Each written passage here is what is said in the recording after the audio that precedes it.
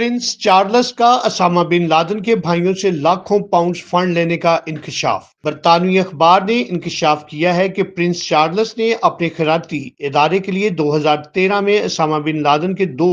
सुतेले भाइयों से एक मिलियन पाउंड फंड्स कबूल किए थे।